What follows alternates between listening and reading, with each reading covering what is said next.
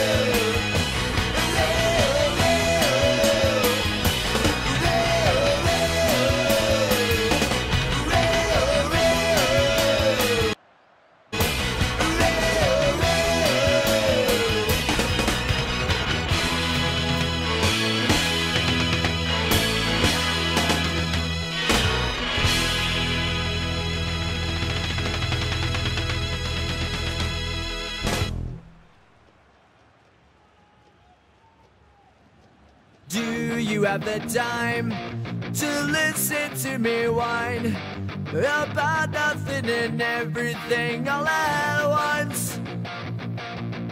I am one of those melodramatic fools, neurotic to the bone, no doubt about it.